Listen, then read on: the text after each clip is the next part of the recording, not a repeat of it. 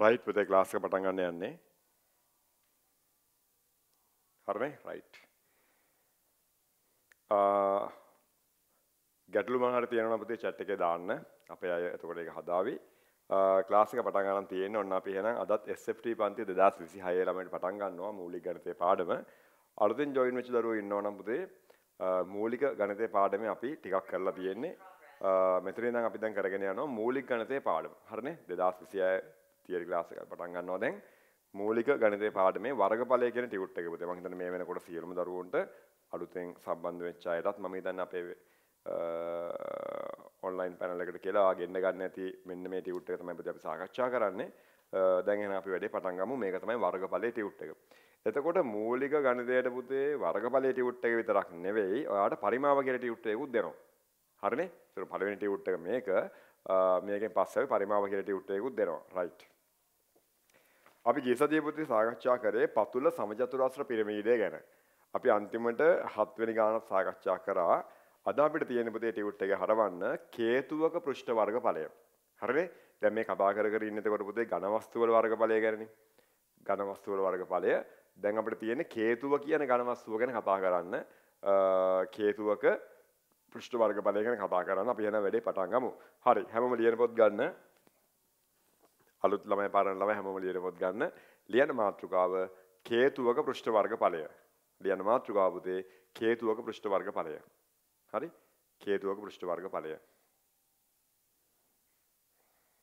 කේතුවක පෘෂ්ඨ වර්ගඵලය.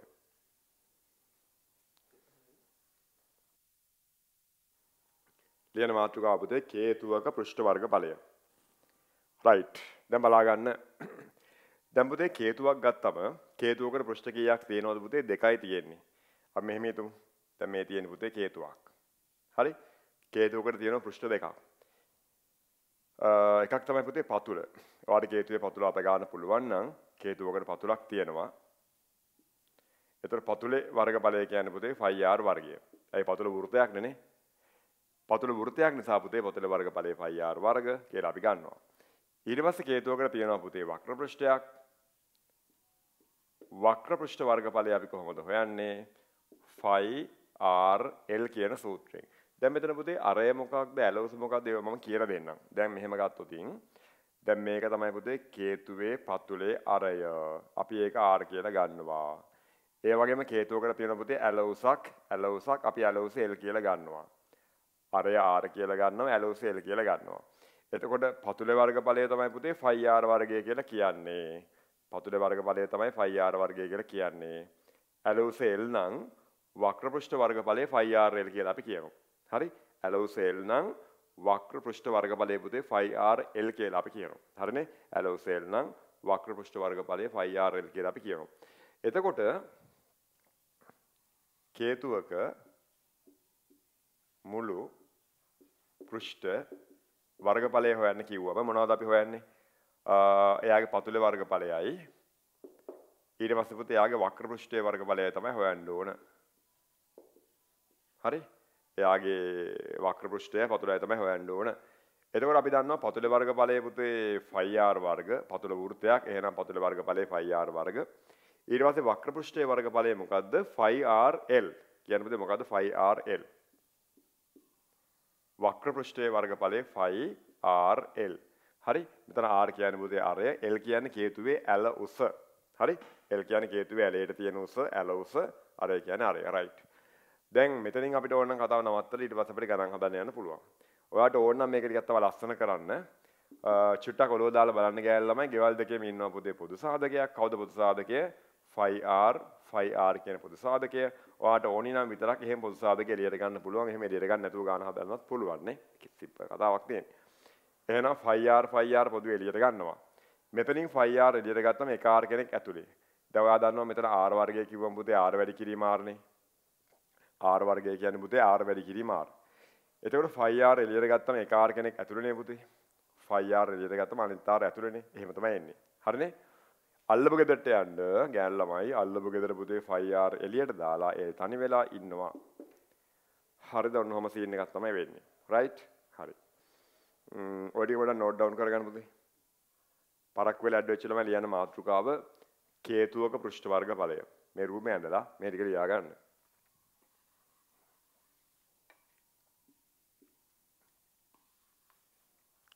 තකා ලියා ගන්න.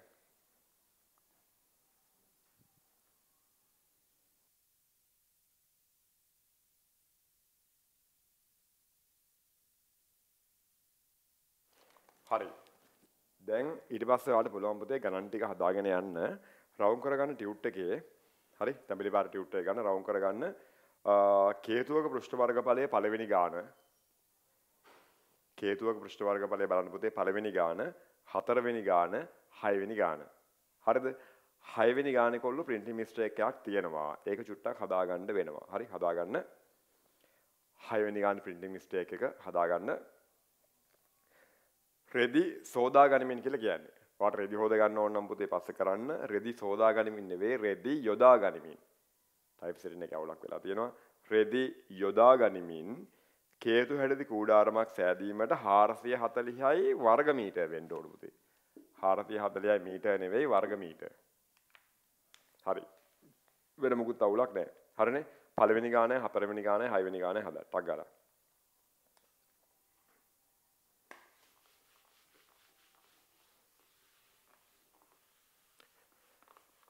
ගණන් පාඩමක් යනකොට පුතේ තනියම ගණන් හදනම නම් ඔයාලට මීටරේ හදාගන්න පුළුවන්. මීටරේ හදනකම පුතේ 12 වසර පන්තියේ වැඩ කරන්න. හරි.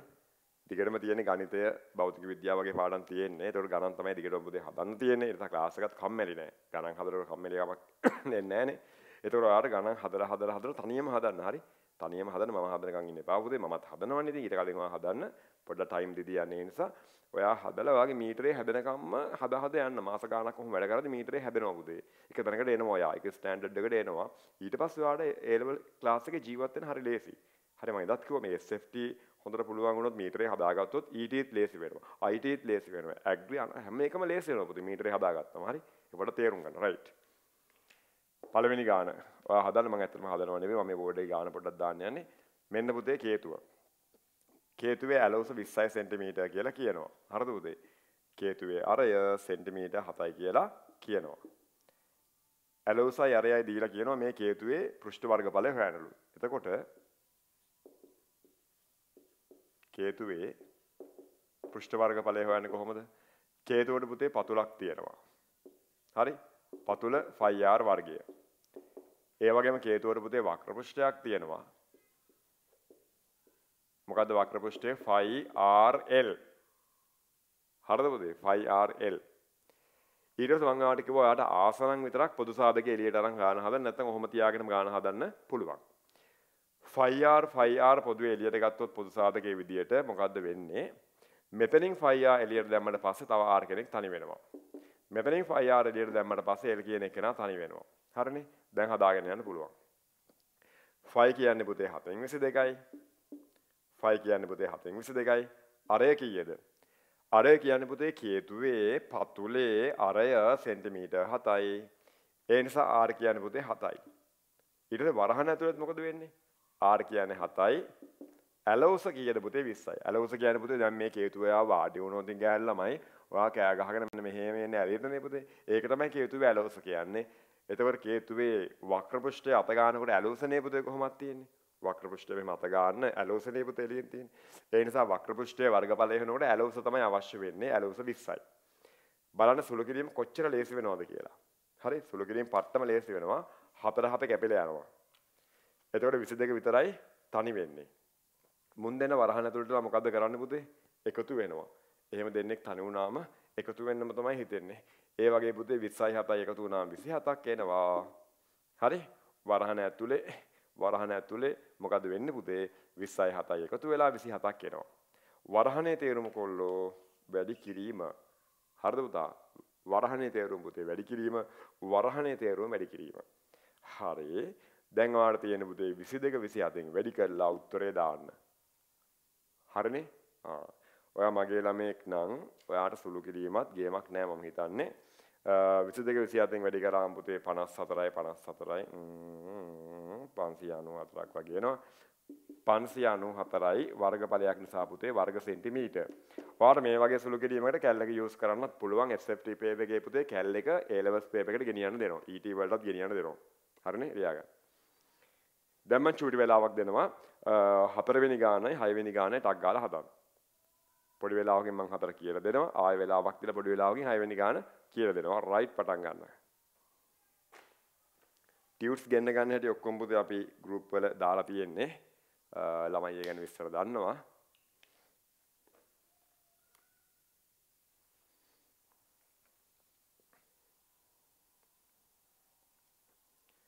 ඔයාලට තියෙන ඕනින් ප්‍රශ්නයක් දාන්න.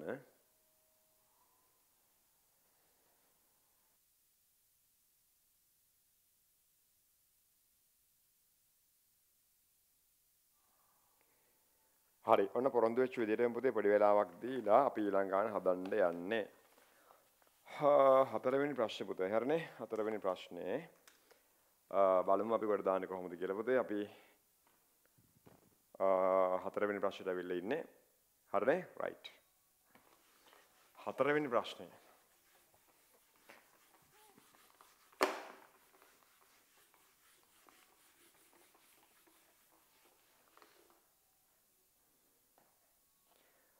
ඍජු කේතුවක අරය සෙන්ටිමීටර් 16ක්ද කේතුවේ ලම්බු සෙන්ටිමීටර් 12ක්ද වේ. කේතුවේ ඇල උස කේතුවේ වක්‍ර පෘෂ්ඨ වර්ගඵලය සොයන්න කියලා කියනවා.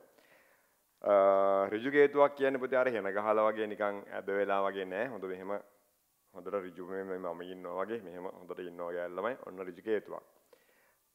අරය සෙන්ටිමීටර් 16ක් ලු පුතේ. හරි? එතකොට අරය සෙන්ටිමීටර් 16ක් ලු. ලම්බ උස 12ක් ලු. අන්න බලන්න. ලම්බ උස තමයි දීලා තියෙන්නේ. එතකොට ලම්බුස අපි h කියලා ගමු h තමයි පුතේ 12 කියලා කියන්නේ. හරය 16යි ලම්බුස 12යි. මොකද්ද මේ කේතුවක ලම්බුස කියන්නේ? දැන් හිතන්න පුතේ දැන් මේ මෙහෙම කේතුවක් තියෙනවා. අපි මේ මේ ওই ගාල්ල පැත්තේ තියෙනවා පුතේ එන කේතුව ආකාර උස මේකක්. මම ඔයාලව මේ ට්‍රිප් එක අරන් යන්නත් තියෙන මේක පෙන්නන්න ගිහිප වෙලාවක මම ආව මේක පෙන්නන්නම්. හිතන්න දැන් අපි ට්‍රිප් එක ගිහිල්ලා අපේ පන්තියේ පිරිමි ළමෙක් දැන් මේක නගිනවා උඩට. හරි? උඩට නැගලා මෙතන හිලක් හදනවමු. දන්නවනේ කොල්ලොන්ගේ හැටි පුතේ. මෙතන හිලක් හදලා එතනින් ගලක් දානවා පල්ලෙහාට. දැන් ගල වැටෙන්නේ කොහොමද පුතේ? ලම්බකව වැටෙන්නේ. ඒක තමයි මෙයාගේ ලම්බ උස. හරියටම කේතුවේ මැදට වැටෙන්නේ. ඒක තමයි පුතේ කේතුවේ ලම්බ උස. දැන් කේතුවේ ලම්බ උස ගැන ඔයාලට මම චිත්‍ර රූපයක් මවන විදිහට ඉගැන්වුවේ. හරි? සාමාන්‍ය පුතේ චිත්‍ර රූපයක් මැවන විදිහට උගන්වන එක තමයි ආකර්ශනීයම සහ හොඳටම දෙයක් ළමයට අවබෝධ වෙන ඉගෙනුම් ක්‍රමය. ඔයත් පාඩම් කරනකොට ගණන් හදනකොට ඒක ගැන චිත්‍ර රූපයක් මවාගෙන හදනවා නම් මරුවට ඒක තේරුම් ගන්න පුළුවන්. හරි? එහෙනම් මෙහෙම නැගලා පුතේ මෙතන හිලක් හදලා ගලක් බිමට දැම්මොත් ගල බිමට වැටෙන්නේ ලම්බකව. ඒක තමයි පිරමීඩේ ලම්බ උස. ඒක ඇතුලේ තියෙන්නේ. ඇල උස තියෙන්නේ එළිය පුතේ මේ. ඊට පස්සේ මේ පිරිමි ළමයා මොකද කරන්නේ? ඊට පස්සේ ඌ කෑ ගහගෙන මේක දිගේ මෙන්න මෙහෙම ගල බිමට වැටෙනවා. ඌ ඇලේට මෙහෙම එන්නේ. ඒක තමයි ඇල උස. ක්‍රෝමීලක් එකේ කියනවා පුතේ. ඇල උස හොයන්න කියලා. මෙච්චරයි කරන්න දෙන්නේ මොකද්ද? මේක ඍජුකෝණී ත්‍රිකෝණයක්. මේ ඍජුකෝණී ත්‍රිකෝණයට පයිතගොරස් දාන්න තියෙන්නේ. හරි? ක්‍රෝමිලක එක කේතුවේ ඇලෝස හොයන්න, කේතුවේ ඇලෝස හොයන්න පුතේ පයිතගොරස් දාන්න තියෙන්නේ. එහෙනම් පයිතගොරස් දාමුද අපි? දාමු. L වර්ගයේ සමානයි. හරි? 12 වර්ගයේ ධන 16 වර්ගය. L වර්ගයේ සමානයි 12 වර්ගයේ ධන 16 වර්ගය. 12 වර්ගයේ පුතේ 144යි 16 වර්ගයේ 256යි. එකතු කරාම 400යි. හරිනේ? එකතු කරාම කීයද පුතේ? 400යි. L වර්ගයේ සමානයි 400යි. දැන් L කියනවා තනි වෙන්න ආසයි කියලා.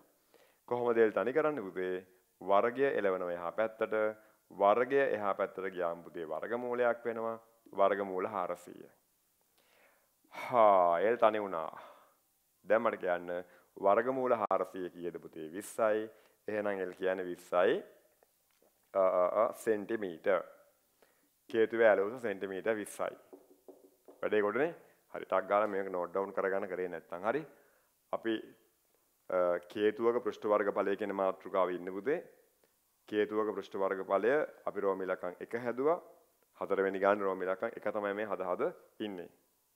හරි? ටක් ගාලා ලියාගන්න. රෝම ඉලක්කම් 1.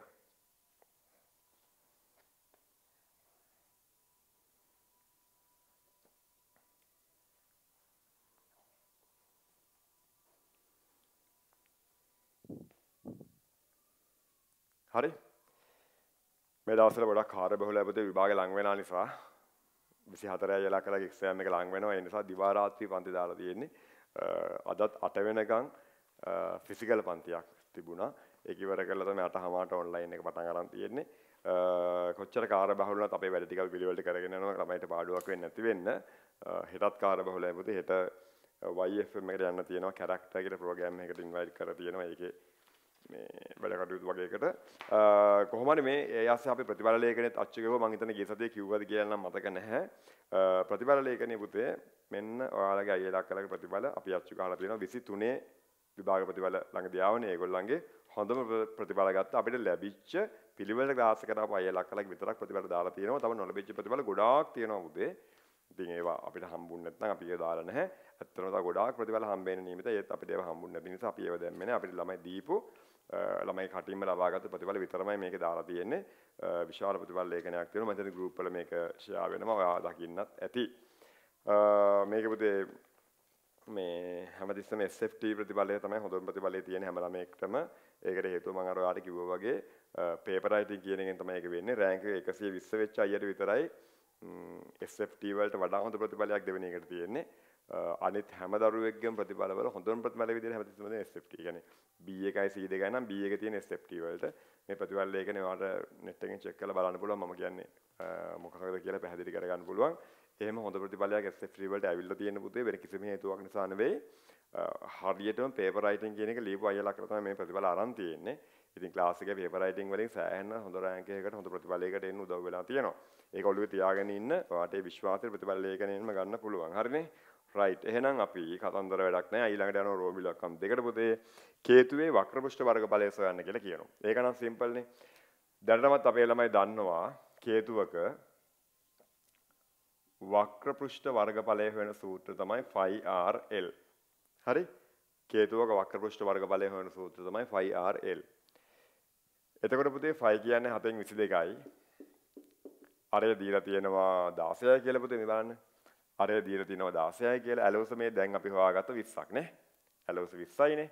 ඇලෝස 20යි අරය 16යි. එහෙනම් R කියන්නේ පුතේ අරය 16යි. ඇලෝස කීයද? 20යි. දැන් මේක නම් පුතේ අපිට අතින් සුළු කරන්න අමාරුයි නේ. ඒකට බෙදෙන්නවත් කපන්න කොටන්නවත් මුකුත් නැහනේ. ඒ නිසා කැල්ලක යූස් කරලා අපිට උත්තරේ ගලපන්න පුළුවන්.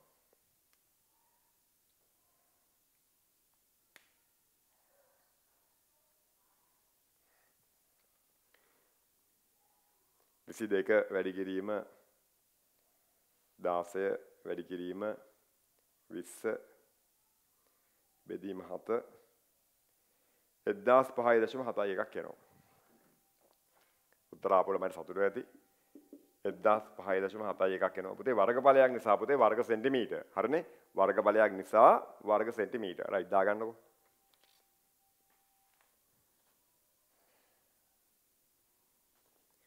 දාගන්නකෝ කේතුවේ වක්‍රපෘෂ්ඨ වර්ගඵලය හෙව්වා. හරිනේ? පුතේ ක්ලාස් එක කරගෙන යද්දී මොකක් හරි තාක්ෂණික දෝෂයක් ඔයාලට පර්සනල් හරි වෙනවා නම් ටක් ගාලා අපේ අංකයක් තියෙන එකට කතා කරන්න. ඒවා අපි දාලා ඇති ගෲප් එකේ 0.77යි sorry 0.76යි 58යි 59යි 126යි ලයිව් ක්ලාස් එක යන අතර තාක්ෂණික දෝෂයක් ආවොතින් තමයි මේකට කතා කරන්නේ වෙන දේවල්ට කතා කරන්න එපා. ක්ලාස් එක යන අතර සවුන්ඩ් නැහැ නේද ගිහිල්ලා මොකක් හරි එහෙම ප්‍රශ්නයක් වුණොත් තාක්ෂණික දෝෂයක් ආවොත් ටක් ගාලා මේ අංකයට කෝල් එකක් හරි මැසේජ් එකක් හරි දාන්න. ඒකට ටක් ගාලා ඒක අපි හදනවා. මේක SFT පන්තියට විතරයි අදාළ හරි. තාක්ෂණික දෝෂ වල විතරයි දාලා තියෙන්නේ.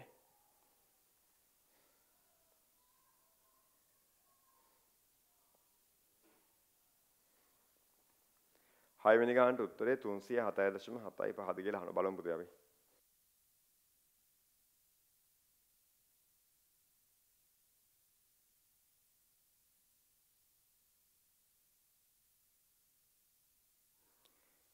හරිද පුතේ? right.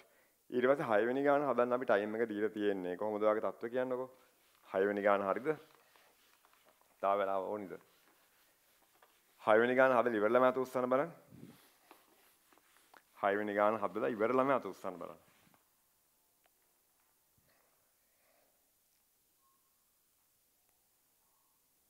හ්ම්. තමයි හදනවනේ.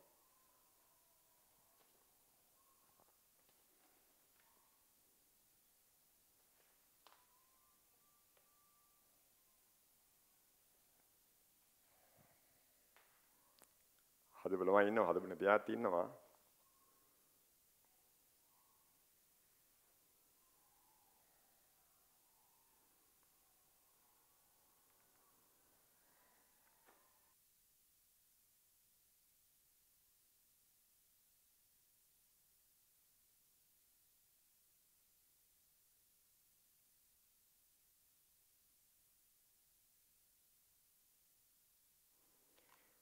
හරි.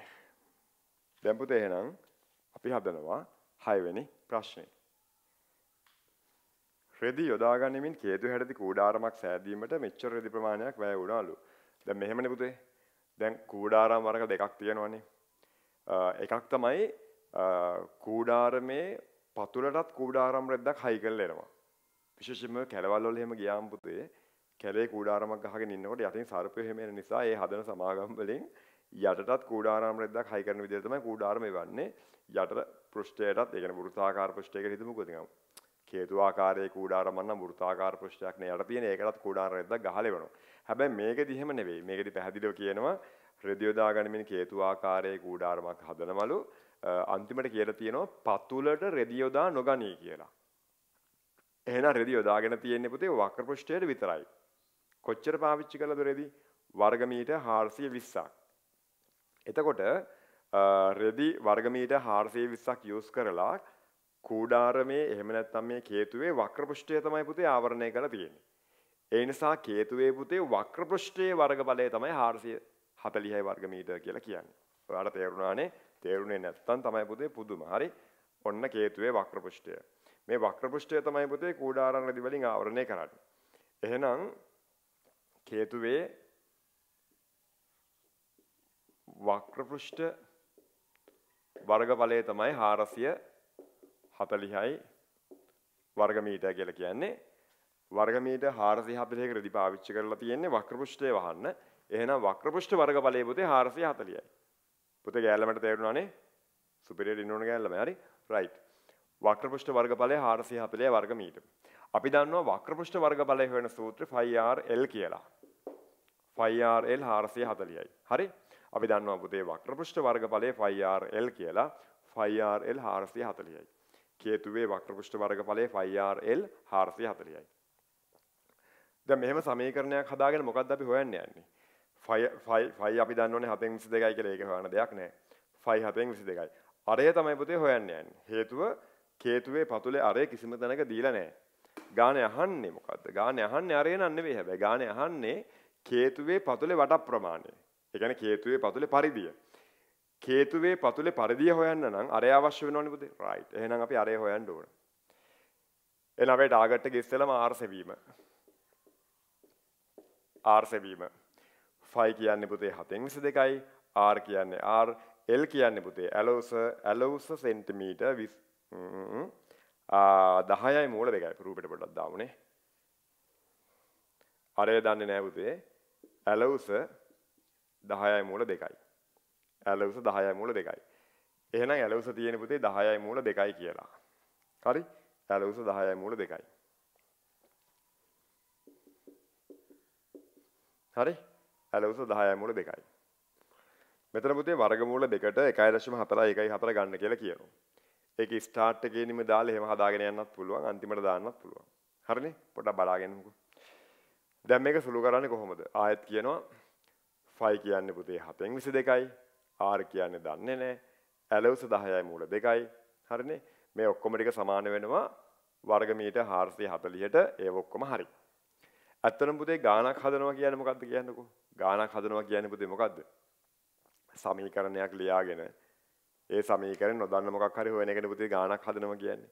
දැන් පොඩ්ඩකට කලින් මං කරෙත් ඒක දැන් කරන්නෙත් ඒක සමහර ලබන කරන්නෙත් ඒක. ඒ නිසා සමීකරණ විසඳන්න ප්‍රැක්ටිස් වෙන්න වෙන්න වෙන්න ඔයාලට ගණන් හදන එක ලේසි වෙනවා. හැබැයි මුලින් හරි හිතන කෑල්ල ඔයා කරන්න ඕනේ. thinking part එක ඔයාගේ තියෙන්න ඕනේ. ඒක නැතුව බෑනේ පුතේ. එහෙම තියෙන්න ඕනේ. හරි? එතකොට ඒව හදා ගන්න පුළුවන් පුතේ මාස 6ක් විතර එක දිගට මාත් එක්ක වැඩ කරෝතින් ඔයාට ඒක හදා ගන්න පුළුවන්. ඔය හොඳ රිසර්ච් දාන අයියලා කළා රිසර්ච් ෂීට් එක ඔයගොල්ලෝ දකින්න ඇති. ඒ වගේම අපේ හොඳ ප්‍රතිඵල ගත්ත අයියලා අක්කලා ක්ලාස් එකට ඇවිල්ලා ෆිසිකල් පන්ති වල කියන දේවලුත් අපි වීඩියෝස් විදිහට හදලා අපේ වීඩියෝ ටීම් එකක් ඉන්නවනේ. ඒගොල්ලෝ පුතේ අපේ ගෲප්ස් වලට දානවා. අපේ පේජ් වලට දානවා. ඕගොල්ලෝ තාම නැත්නම් අපේ මලිත් වාසලගේ කියලා FB පේජ් එකක් තියෙනවා. ඒකට යන්න. ඒකට දානවා. ඊට පස්සේ මරිත් වාසලගේ කියලා YouTube channel එකක් තියෙනවා ඒවට දානවා ඒවත් ඉතින් බලන්න එතකොට ඔයාලට ඒ වයින්ුත් පුතේ අයියලා අක්කලා වැඩ කරපු විදිය ගැන අවබෝධයක් ගන්න පුළුවන් හරිද? එතකොට මාස 6ක් විතර එහෙම වැඩ කරවලා මීටරේ හදාගත්තම හරිම ලේසි ඉන්න කියන එක මම හැමතිස්සෙම එයාලට ඒ දවස්වල කිව්වා. ඉතින් ඒගොල්ලෝ එහෙම වැඩ කරලා තමයි පුතේ ඒ රිසර්ච් අරගෙන තියෙන්නේ. ඉතින් ඔයාලටත් ඒ විදියට කොට දාන්න පුළුවන්.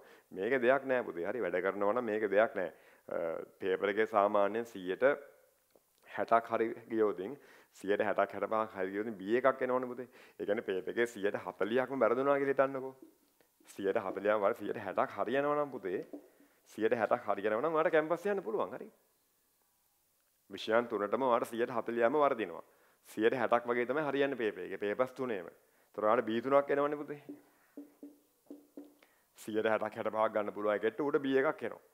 ඒතර සබ්ජෙක්ට් තුනටම 160 60 වගේ ගත්තොත් B තුනක් එනවනේ. B3ක් කියන්නේ කැම්පස් යන්න පුළුවන් ෂුවර් එකටම. B3 නෙමෙයි B2 C එකටත් යන්න පුළුවන්. B1 C දෙකටත් යන්න පුළුවන්. සමහර දිස්ත්‍රික් වලට ඊට අඩු ඒවටත් යන්න පුළුවන්. මට ඔන්ලයින් එක හරියට ටාගට් කරේ කියලා කියන්න බෑ. දිස්ත්‍රික්කෙන් දිස්ත්‍රික්කට වෙනස් වෙනවා ඒ නිසා. හරි. ඒ නිසා මේකේ දෙයක් නෑ පුතේ. වැඩ කරෝතින් දෙයක් නෑ. වැඩ නොකර ඉඳින් නම් මුකුත්ම නෑ. හරි. ඒක වැඩ කරෝතින් දෙයක් නෑ මේකේ. ඒ නිසා වැඩ කරන්න. හරි. වැඩ කරෝතින් අනිවාර්යෙන් කොට දාන්න පුළුවන්. ඔළුවට අනම්ම නම් මගුල් දාගන්න එපා. දැන් ඔන්ලයින් ළමයි නිසා ගොඩක් වෙලාවට ඉතින් ගෙදර ආවට පරිසරවල තමයි ඉන්නේ. ඒත් ඉස්කෝලේ යනකොට සමහර ෆිසිකල් පන්තිත් එහෙම යනවා ඇතිනේ. යනකොට ඉතින් ඔය සමහර දේවල් වලට ඔළුව දාගෙන ඔළුව අවුල් කරගන්න එපා. මොකද මේ මේ මේ ලංකාවේ අපි ලංකාව ගැන කතා කරමු ලෝක ගැන කතා කරන්න තමයි අපිට අවබෝධයක් ඕනේ. ලංකාව ගත්තාම පුතේ ලංකාවේ 150ක් මිනිස්සු ඉන්නේ පසුතැවෙන ජීවිත ගෙවන්නේ. පසුතැවීම ඉන්නේ පස්සේනේ පුතේ දැන් එන්නේ හරි. පසුතැවීම ඉන්නේ පස්සේ. ඒකනේ පසුතැවීම කියන්නේ. පසුතැවීම දැන් ඔයාට එන්නේ නැහැ. දැන් ඔයා කියනවා මම පසුතැවෙනවා කියලා බොරු කියන්නේ ඔය. පසුතැවීම ඉන්නේ තව පස්සේ එන්නේ පුතේ. දැන් එන්නේ නැහැ. එතකොට පසුතැවීම එන්නේ ඔයා දැන් වැඩ නොකර හිටියොත් හරි. එතකොට ඒක දැන් එන්නේ නැහැ. ඒක පස්සේ එන්නේ. දැන් වැඩ නොකර හිටියොත් තමයි ඒක වෙන්නේ. ඒ නිසා දැන් වැඩ කරන්න. එතකොට ඔයාට පසුතැවීම කියන එක නැතුව ඉන්න පුළුවන්. ලංකාවේ 150ක් 60ක් මම හිතන්නේ ඊටත් වැඩිය පසුතැවීමක් තමයි ඉන්නේ. ඇයි මේ කාලේ පුතේ Tamanට කන්ඩිෂන් ටිකක් දාගෙන වැඩ කළා නැහැ. Tamanට කන්ඩිෂන් ටිකක් දාගන්න ඕන පුතේ. ඒතකොට දැන් ඔයාලා කන්ඩිෂන් ටිකක් දාගෙන වැඩ කරනවා නම් ඒ කියන්නේ මම කිසිම ක්ලාස් එකක් කට් කරන්නේ නැහැ. ඒ ලෙවල් ඉවර වෙනකම් ක්ලාස් කට් කරන්නේ නැතුව පිළිවෙලට වැඩ කරනවා. එහෙම කන්ඩිෂන් එකක් ඔයාට දාගන්නවා. හරිද? එතකොට තමන් තමන්ට දාගන්න කන්ඩිෂන් වලින් තමයි පුතේ මිනිස්සු උඩට එන්නේ ඉස්සෙන්නේ. කවුරුවත් අපිට කන්ඩිෂන් දැම්ම කියලා අපිට කරන්න බෑනේ පුතේ. කාටවත් අපිව උඩට ගන්නත් බෑ කාටවත් අපිට කෙල කරන්නත් බෑ. අපිම තමයි ඒ ටික කරගන්නේ. තේරෙනවද කියන එක? හරි. ඒ නිසා පුතේ කාටවත් අපිට කන්ඩිෂන් දාන්න දෙන්න කොහොමද දෙන්නත් එපා. එහෙනම් ඔයාම කන්ඩිෂන් දාගෙන ඔයාම වැඩ කරන්න. දිනපතා ක්ලාස් එකට සම්බන්ධ වෙනවා. ඒක විනාඩියක් ගන්න ආස්ත කරගන්නේ නැහැ. ඊට පස්සේ අද ක්ලාස් එකේ වැඩ ටික ආය පාරක් හදනවා. ක්ලාස් එක ඉවර වෙලා. ඊට පස්සේ ඒ ගණන් ටික ආය ක්ලාස් එකට එන්න කලින් හදනවා. අපි මතකාවාජන පේපර් එකක් දානවා පුතේ. ඒක ඔයාට පන්ති පටන් ගන්න කලින් කරන්න පුළුවන්. අර ඒ දාන දාන හැම එකක්ම කරන්න. එතකොට ගාන්ට ඔයා ට්‍රැක් එකට වැටෙනවා. Tamanට කන්ඩිෂන් දාගන්න පුතේ. හරි. Tamanට කන්ඩිෂන් දාගන්න තෝරන උඩට යන්න බෑ. ඔයා ඔයාට දාගන්න ඕන කන්ඩිෂන් ටිකක්. ඒ ටික දාගෙන අර මේ ක්වොලිටි එක. ක්වොලිටිස් තියෙන මිනිස්සු ඉන්නේ. ඒ ක්වොලිටිස් තියෙන මිනිස්සු එහෙම Tamanට කන්ඩිෂන් දාගෙන තමයි එතනට ඇවිල්ලා තියෙන්නේ. මම යන වාහනේ මේ වගේ එකක්. ඒ ක්වොලිටි එක එයා තියාගන්නවා. ඒක මේන්ටේන් කරනවා. ඉතින් ඒක ටිකක් වෙහෙස කර වෙන්න පුළුවන්. ඒත් ඒවට එහෙම අවශ්‍ය නම් ඔයාට එහෙම කරන්න පුළුවන්. නැත්නම් එහෙම නැතු ඊට අඩු මට්ටමින් වුණත් ඔයාට ඔයයි ක්වොලිටිස් ටික තියාගන්න පුළුවන්. අපි ඒ ලෙවල්ස් ගැන කතා කරමුකෝ. හරි ඔයාගේ ක්වොලිටිස් ටික තියාගන්න. පන්තිය පටන් ගන්න කලින් ගණන් ටික හදනවා. පන්තිය ඇතුලේ හරියටම විනාඩියක් නාස්තර වැඩ කරනවා. ක්ලාස් එක ඉවර පස්සේ ආයේ ඒ ගණන් ටික ආයෙ පාරක් හදලා ප්‍රැක්ටිස් කරනවා. ඔය ටිකනේ මුතේ සබ්ජෙක්ට් තුනම කරන්න ඕන. එහෙම වැඩ කළොත් ඔයාලට 160 60 වගේ ගන්න පුළුවන් නේ. B3ක් ගන්න පුළුවන් නේ. B3ක් ගත්තොත් කැම්පස් ගේමක් නැතුව පුතේ යන්න පුළුවන්. ඒ නිසා මේකේ දෙයක් නැහැ වැඩ කරනවා නම්. ඒක ඔළුවට ගන්න හැමතිස්සෙම. හරි. ඔළුවට මගුල් දාගන්න එපා. ඔළුවට මගුල් දාගත්තොත් වෙන්නේ පුතේ මේන් ටාගට් එක අමතක වෙනවා. මම දේවල් කිසිම දෙයක් කරන්න එපා කියන්නේ ස්පෝර්ට් කරනවා නම් කරන්න. ඔයා තව වෙන මොකුල් කරනවා නම් කරන්න. මම එපා කියන්නේ. හැබැයි ඔයාලට බැලන්ස් කරගෙන කරන්න පුළුවන් වෙන්න ඕන. ඔයාලට බැලන්ස් කරන්න බැරි නම් පුතේ ඔයා කරන්න එපා. මොකද ඒ ලෙවල් කියන්නේ ටිකක් ලොකු වැඩක්. ටිකක් ලොකු වැඩක් මේක. එතකොට තව ඒවා මේකට උඩින් තියාගත්තොත් මේක පහළට දාලා පුතේ මේක ටිකක් අමාරුයි ගොඩ දාන්න. හරි කරන්න පුළුවන්. අර ලොකුවට ගොඩ දාන්න අමාරු වෙන්න පුළුවන්. ඒ නිසා මේක ඇතුලේ වැඩ කරනකොට පොඩ්ඩක් ඒකට තේරුම් ගන්න පුතේ. ඒ ටික තේරුම් අරගෙන ටිකක් මහන්සි වෙලා ඔළුවට දේවල් දාගන්න නැතුව මේක බැලන්ස් කරගෙන යන්න. හරි මොන දේ ආවත් අභියෝගයක් කියන්නේ ඒක දාලා යන්න එපා. ඒලවස් ඉවරනකම් මේක දරාගෙන ඉන්න. ඔය සමහර දැන් මම කලිනුත් කිව්වනේ ලංකාවේ භාගයට භාගයක් ඉන්නේ තව අයට සාප කර කර ඉන්නවා. හරි? දැන් මෙතන මෙතන සමහරට ඇති. දැන් ඕ ලෙවල් කාලේ මොකෙක් හරි එක්ක යාළුවලා හිටියා. ඌ දාලා ගියා. ඒ ඕ ලෙවල් කෙලවගෙන ඉන්නේ දැන්. දැන් ඌට සාප කර කර ඉන්න එපා පුතේ. හරි? ජීවිත කාලෙම එහෙම ඉන්න එපා. ඌ දැන් ඌ තමයි මගේ ඕ ලෙවල් කෑවේ කියන වචනේ කියන්න එපා. එහෙම කාටවත් ඔයාව කන්න බෑ, ඔයාව නාස්ති කරන්න බෑ පුතේ. ඔයා තමයි නාස්ති වෙන්නේ. හරිද? ඔයා ඔයාට එහෙම දෙයක් වෙලා නම් ඔයා තමයි ඒකට වග කියන්න ඕන. ඔයා තමයි නාස්ති වෙලා තියෙන්නේ. කාටවත් කාටවත් කෙලවන්න බෑ පුතේ. හරි? Tamanට උමනාවක් තිබුණොත් තමයි නාස්ති වෙන්නේ. ඒ නිසා ඔයා රූල්ස් ටිකක් දාගන්න නාස්ති වෙන්න නැතුව වැඩ කරන්න කවුරුවත් ඔයාව නාස්ති කරා කියන ආකල්පය ගන්න එපා ඒකට කිසිම වෙලාවක. ඒක ගත්තොත් ඔළුව දූෂණය වෙනවා. ඔළුව අවුල් වෙනවා. හරි? දූෂිත සිතුවිල්ලකින් පුතේ දෙයක් කරනකොට සාර්ථක වෙන්නේ නැහැ පුතේ. හරි? ඒ ලෙවල් එකේ මොනම මොකද කරා සාර්ථක වෙන්නේ නැහැ. බිස්නස් එකක් කරා සාර්ථක වෙන්නේ නැහැ. දූෂිත සිතුවිල්ලෙන් කරන්න එපා. අරුව පාගන ඌට වඩා උඩට යන්න ඕන. ඌට මෙහෙම කරන්න තමයි මෙහෙම කරන්න ඌට පේන එහෙම එපා පුතේ. හරි? එතකොට ඔයා දූෂිත සිතින්නේ කරන්නේ. ඒ දූෂණය වෙච්ච තැන් වල දූෂණයේ දේවල් තමයි එකතු වෙන්නේ. වටේ එකතු වෙන්නේ ඒ වගේම රැලක් තමයි එකතු වෙන්නේ. තක්කඩිය ටිකක්. හරි ඒ නිසා එහෙම එපා. ඔයා බොහොම හොඳින් අර හොඳ හොඳ සිතුවිල්ලකින් හැමතිස්සෙම වැඩ කරන්න. කාටවත් ඔයාට කියලා කරන්න බෑ. එහෙම දෙයක් වුණා නම් රයිට් එක ඉවරයි. මම මගේ හදේ තමයි වැරද්ද තියෙන කියලා. ඔයා ඒක ටක් ගාලා මේව කළා. ඒක රොබසෙට් කරලා ඔයා පටන් ගන්න ඔයාගේ වැඩ ටික කරා. හරි. ඒ ලෙවල් කාලෙත් ඔන්න මගුලක් මොකක් හරි කරලා ඒ ලෙවල් ඉවෙල්ලා කිය කිය ඉන්න එපා. එයා තමයි මාව කෑවේ කියලා එහෙම කියන්න එපා පුතේ. එහෙම කන්න බෑ හරි. එහෙම කාටවත් ඔයාව නාස්ති කරන්න බෑ. ඔයාටත් වෙන කෙනෙක්ම නාස්ති කරන්න බෑ. වෙන කෙනෙක්ටත් ඔයාව නාස්ති කරන්න බෑ. නාස්ති වෙන්න පුළුවන් ඔයාට විතරයි. ඒක ඔළුවට ගන්න හරි. ඒ නිසා අන්න එහෙම චුට්ටක් ඒ ටික අරන් වැඩ කරන්න. ඔළුවට කිසිම දෙයක් විකාර දෙයක් දාගන්න එපා මේ දවස් ටිකේ. එහෙම වැටෙනවා පුතේ. මිනිස්සුනේ පුතේ. අපි යද්දි අපිට එක එක දේවල් ඔළුවට වැටෙනවා. අර ඒක තමයි මම කිව්වේ. මොනවා වැටුණත් Taman ස්ථාවර වෙනකම් පුතේ මේක අතාරින්න එපා. හරි විශේෂම ගෑල්ලමටත් මම මේ කියන්නේ හරි වෙන කෙනෙකුට ජීවිතේ බාර දෙන්න එපා පුතේ තමන් ස්ථාවර වෙනකන් තමන් ස්ථාවර වුණාට පස්සේ ඔයාට පුළුවන් ඊට පස්සේ ඒ අත්දැකීම් ගන්න නැත්තම් ඔයා ඔක්කොටම කලින් ඒ අත්දැකීම් ගන්න ගිහිල්ලා හොතටම ඔයා අස්ථාවර මිනිස්සෙක් විදිහට සමාජගත වුණොත් ඔයාට හැමදාම පුතේ වෙන කෙනෙක් මත ඩිපෙන්ඩ් වෙන්න වෙනවා. ඒතකොට බැනුම් අහන්න වෙනවා. එයා කියන විදිහට ඉන්න වෙනවා. එතකොට ඔයා අස්ථාවර නිසානේ පුතේ එහෙම වෙන්නේ නේද? ඒ නිසා ඔන්න චූටි දේවල් තේරුම් ගන්න ලොකු ළමයිනේ ඒ ලෙවල් කරනවා වගේ. දැන් අලුතෙන් ආපු බැච් එක පොඩි උන් නෙවෙයි දැන්. ටිකක් ලොකුවට හිතලා ලොකු ටාගට් එකක් වැඩ කරන්න. හරි. ඒව තේරුම් ගන්න. පොඩි උන් නෙවෙයිනේ. හරි. අපි එතකොට ගාන ඉතුරු ටික කන්ටිනියු කරන් යනවා. හරි. ගාන ඉතුරු ටික කන්ටිනියු කරන් යනවා. අරේ තමයි පුතේ සොයන්න අරේ තමයි හොයන්න තියෙන්නේ දැන් මේක සුළු කිරීම කරන්න කොහොමද කියන්නකෝ මේක සුළු කරනකොට පුතේ අපිට පුළුවන් උඩ ටික වැඩි කරගන්න ඉස්සෙල්ලාම. ඒ කියන්නේ අපිට ඕන නම් පුළුවන් 22 10න් වැඩි කරලා 220යි කියලා ලියන්න. නැත්නම් කොහොම තියාගෙනම සුළු කරන්නත් පුළුවන්. හරි. 22 10න් වැඩි කරාම 220යි මූල 2යි. ආරම වෙනම මෙහෙම ලියන්න. දැන් මම හැදුවා නම් මම මෙහෙම ලියලා ඉන්නේ කෙලින්ම වැඩේ කරලා දානවා. හරි. ඒත් නම් උගන්නන මිනිස්සයා නිසා මෙහෙම පොඩ්ඩක් කරනවා. 22 10යි මූල දෙකෙන් වැඩි කරාම 220යි මූල 2යි. 22 10න් වැඩි කරාම 220යිනේ. 220යි මූල 2යි. යට ඉන්නවා පුතේ බෙදීම 7. දැන් අපිට ආර්තනි කරන්න පුළුවන්. මේකට කියනවා පුතේ හරස් ගුණිතය කියලා. හරස් ගුණිතය කියන්නේ මෙතන වැඩි කිරීමක් තියෙනවා නම් මෙහෙම බෙදීම් තියෙනවා නම් අපිට යට යට තට්ටුවේ ඉන්න කට්ටියට පයින් ගහලා හරස් අතර උඩට එලවන්න පුළුවන්. උඩ ඉන්න කට්ටියට පයින් ගහලා හරස් අතර යටට එලවන්න පුළුවන්. ඒක තමයි පුතේ හරස් ගුණිතය කියලා කියන්නේ. හරි? අපි එතකොට යට ඉන්න හතර පයින් ගැහුවම හත කෑ ගහගෙන උඩට යනවනේ. ගිහලා හත වැඩි වෙනවා 740. ඊට පස්සේ අපි උඩ ඉන්න එකාට පයින් ගැහුවම ඌ කෑ ගහගෙන යටට ගිහිල්ලා 220යි මූල දෙක විදියට යට ඉන්නවා. දැකනේ හරස් ගුණිතේ උඩ ඉන්න එක්කෙනා යටට ගියා යට ඉන්න එක්කෙනා උඩට ගියා. එහෙම එහෙම ගියාම R මෙතන තනි වෙනවනේ. අපිටත් උන R තනි කරගන්න. ඒතකොට R කවුද කියලා අපිට එනවනේ පුතේ. හරස් ගුණිතේ කියන්නේ ඒක. එතන ඇතුළේ තියෙන સિદ્ધාන්තය තමයි පුතේ වැඩි වෙවි ඉන්න මිනිස්සෙක් එහා පැත්තට ගියාම බෙදි බෙදි ඉන්න මිනිස්සෙක් වෙනවා. ඒ වගේ මේ පැති බෙදි බෙදි ඉන්න හත අර පැත්තට ගියාම වැඩි වෙවි ඉන්න හත වෙනවා. ඒක තමයි වෙන්නේ. බෙදීම අර පැත්තට ගියාම වැඩි කිරීම sorry වැඩි කිරීම අර පැත්තට ගියාම බෙදීමක් වෙනවා. බෙදීම විදියට ඉන්න එක අර පැත්තට ගියාම වැඩි කිරීමක් වෙනවා. ඔන්න ඔය සීන් එක තමයි වෙන්නේ. හරිනේ? හලස් ගුණ දෙකේ අපි කරන්නේ ඒක මෙහෙම මෙහෙම. ආර තනි වෙනවා. දැස්සලු කිරීම දැම්මොතින් 440 220 බෙදුවම් පුතේ 2යි 440 220 බෙදුවම 2යි ඊට පස්සේ 7 දෙකෙන් වැඩි කරාම 14යිනේ බෙදීම මූල දෙක. හරි? 7 දෙකෙන් වැඩි කරාම 14යි යට ඉන්නවා මූල දෙක 14 බෙදීම මූල දෙක. පුතේ ඔය ටික ලියා ගන්න. දැනට ඔය ටික ලියාගෙන තව තියෙනවා ලියා ගන්නකො.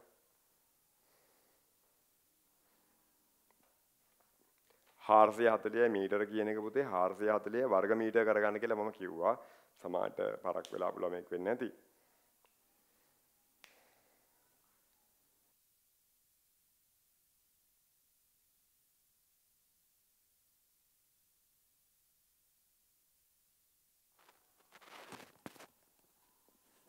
හරි. ලියාගත්තද පුතේනේ? ඇයි මම චුට්ටක් මේක ලියාගෙන තව මොනවාරි කියනවා කිව්වේ මෙන්න මේ හේතුව නිසා පුතේ. මේක මේකෙන් මම චූටි තියරි කෑල්ලක් තව ඔයාලට ගන්න ප්ලෑන් කරන් ඉන්නවා. ඒ කියන්නේ එහෙම අනිවාර්යෙන් මේක ඔයා මේ මෙහෙමම කරන්න ඕන එකක් නැහැ. පොඩ්ඩක් බලාගන්න පුතේ. දැන් අරයට ආවේ 14 බෙදීම මූල දෙක කියලා එකක් නේ.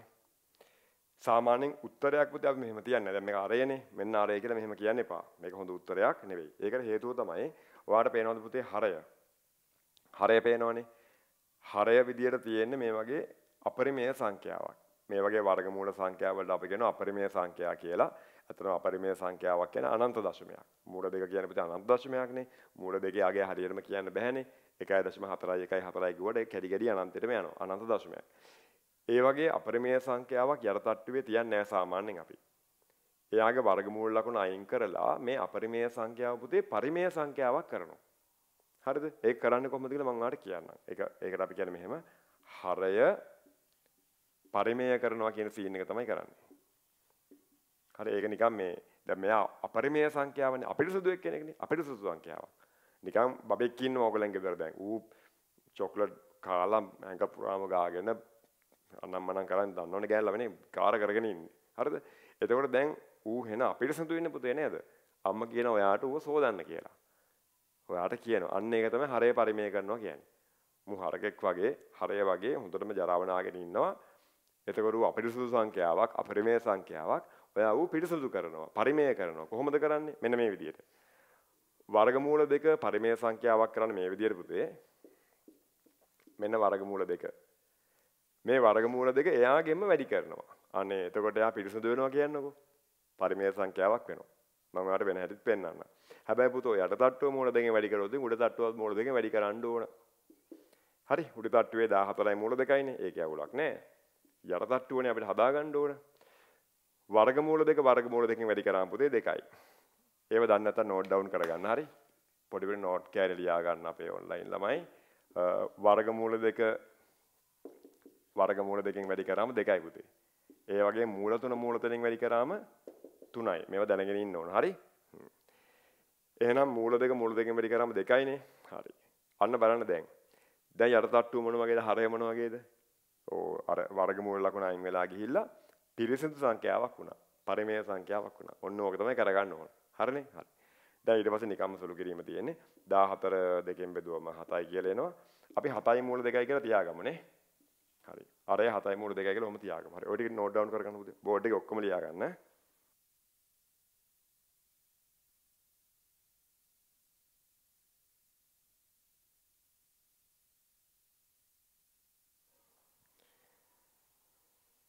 හරිනේ? හරි. දැන් පුතේ අරය හොයාගත්තා. දැන් ගානේ අහලා තියෙන්නේ මොකද? අරය නෙවෙයිනේ. ගානේ අහන්නේ. දැන් මේ එන ලොකු කූඩාරමක් නේ පුතේ නේ. වර්ග මීටර් 440 කරවිද ගැහුවා කියන්නේ ඕගොල්ලන් ගේ විතර සයිස් ලොකු කූඩාරමක් මේක. ඕගොල්ලන් ගේ විතර ලොකු කූඩාරමක්. ඒක වටේ වට ප්‍රමාණය. දැන් ඔයා මේ කූඩාරම වටේ යනවා. එන සයිස් කූඩාරම කූඩාරම වටේ යනවා. පතුලේ වට ප්‍රමාණය කියන්නේ පතුල වෘතයක් නේ පුතේ. පතුල වෘතයක්නේ. වෘතයක වට ප්‍රමාණය කියන්නේ පරිධියටනේ. එහෙනම් පරිධිය තමයි අහන්නේ. එහෙනම් අපේ ඊළඟ ටාගට් එක පරිධිය හොයන එක. පරිධිය කියන්නේ C නේ C සෙවි. ආ කමන්නේ සිංහල ලියමු. පරිධිය සෙවීම. තමයි ටාගට් එක. හරි? මම පොඩියට පොඩ්ඩක් අමින්නම් කියතු ඕන්න කූඩාරම. අරයක් දැන් අපි දන්නවා මෙන්න මේක තමයි පුතේ පරිධිය කියන්නේ. හරි මේක තමයි පරිධිය කියන්නේ. වටේ දිග. පරිධිය හොයන සූත්‍ර තමයි 25R.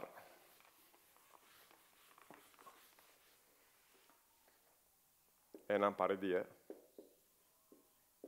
සමානයි 25R. හරි? 2 කියන්නේ 2යි, 5 කියන්නේ 7න් 22යි, අරය කීයද? අරය ආවේ පුතේ 7යි මූල 2යි කියලානේ. එහෙනම් ආදේශ කරන අරය 7යි මූල 2යි. දැන් මොකද වෙන්නේ? 4 7 කැපිලා යනවා. හරි? අරය 7යි මූල 2යි 4 7 කැපිලා යනවා. දෙවරක් 22 පුතේ 44යි 44යි මූල 2 කියලා එනවා. හරි? දැන් ඔයාලට පුළුවන් අර ගාන දීලා තියෙනවා මම දැක්කා වර්ගමූල දෙක 1.4යි 1යි 4යි වගේ එකක්. ආන්න ඒක යූස් කරලා උත්තරයක් ගන්න. හරි ලියාගන්න. උත්තර ආපුවමයි දාන්න බලන්න chat එකේ. පුතේ මේ හෙව්වේ පරිධිය. හරි පරිධිය කියන්නේ වටේ දිග. වර්ගවලයක් නෙමෙයි හෙව්වේ. ඒ නිසා මීටර වලින් දාන්න උත්තරේ. වර්ග මීටර දාන්නේ නැහැ.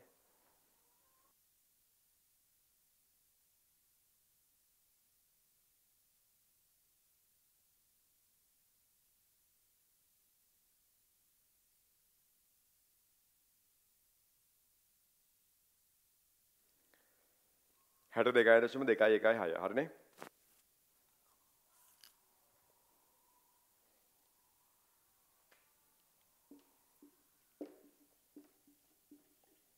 right හරි ඊට පස්සේ පුතේ අපි ආයෙත් අලුත් තියරි කෑල්ලක් පටන් ගන්න යන්නේ හරි ලියන මාතෘකාව කේන්ද්‍රික ඛණ්ඩයක් යොදාගෙන ලියන අලුත් අනුමාතෘකාවක් කේන්ද්‍රික ඛණ්ඩයක් යොදාගෙන කේන්ද්‍රික ඛණ්ඩයක් යොදාගෙන කේතුවක් නිර්මාණය කිරීම. හරි? කේන්ද්‍රික ඛණ්ඩයක් යොදාගෙන කේතුවක් නිර්මාණය කිරීම.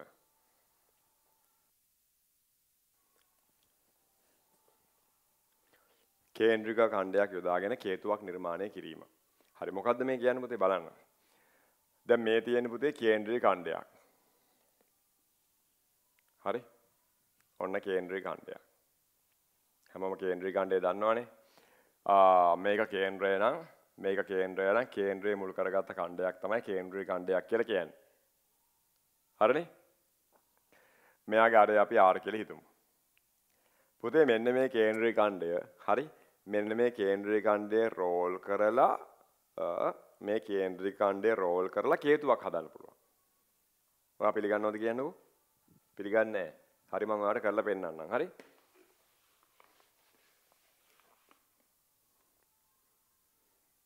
මේ කේන්ද්‍රය ඔන්න කේන්ද්‍රී ඛණ්ඩය.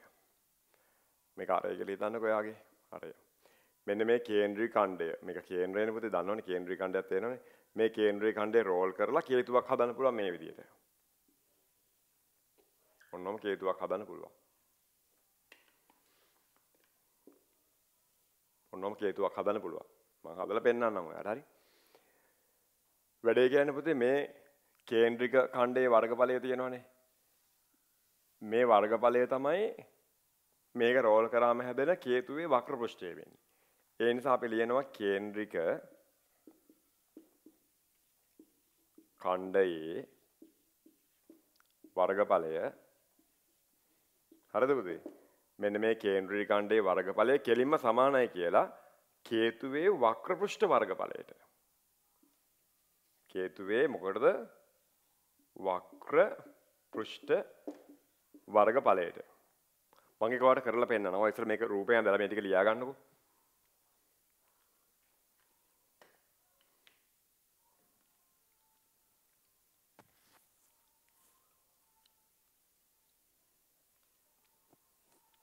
හරිද පුතේ?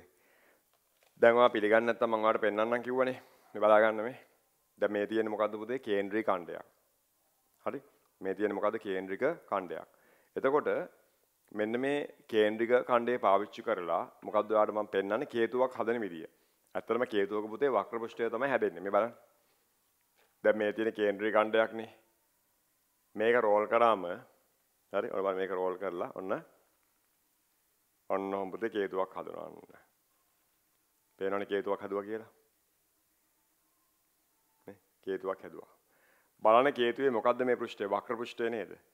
කේතුවේ වක්‍ර පෘෂ්ඨය තමයි මේ තියෙන්නේ. පතුල හැදෙන්නේ නැහැ පතුල පතුලේ මුකුත් නැහැ. පේනවනේ පතුලේ මුකුත් නැහැ. වක්‍ර පෘෂ්ඨය තමයි හැදෙන්නේ. එහෙනම් කෙලින්ම මෙන්න මේ කේන්ද්‍රික ඛණ්ඩයේ වර්ගඵලයේ පුතේ මේ කේන්ද්‍රික ඛණ්ඩයේ වර්ගඵලය තමයි රෝල් කරාම කේතුවේ වක්‍ර පෘෂ්ඨය වෙන්නේ. ගානට වක්‍ර පෘෂ්ඨය වෙන්නේ. ඒ නිසා මෙයාගේ වර්ගඵලය මෙයාගේ වර්ගඵලය මෙයාගේ වක්‍ර පෘෂ්ඨ වර්ගඵලයට සමානයි. වැඩේ පැහැදිලිනේ? හරි. දැන් කේන්ද්‍රී ඛණ්ඩයේ අරය R නම් කේන්ද්‍රයේ ආපාතිත කෝණය පුතේ තීට නම් කේන්ද්‍රී ඛණ්ඩයේ වර්ගඵලය වෙන සූත්‍රය වල මතක ඇති අලු A level class එකේ අලුත් සූත්‍රයක් වාට ඉගෙනුවා වර්ගඵලය හොයන්න මොකද්ද භාගයයි R වර්ග තීටා රේඩියන් කියන සූත්‍රය. ඔය රේඩියන් කෝණ වගේ දේවල් තේරෙන්නේ නැත්නම් ඔයාලට කරපු පළවෙනි පාඩම් ටික මේ මූලික ගණිතේ පාඩමේ මලිත් වාසලගේ YouTube channel එකට දාලා තියෙනවා. ඒකට ගිහිල්ලා පුතේ subscribe කරලා like comments දාලා එහෙමත් පොඩ මනුස්සකමක් තියන ඒවත් කරලා ඔයාලට පුළුවන් මේ වීඩියෝස් ටික බලන්න.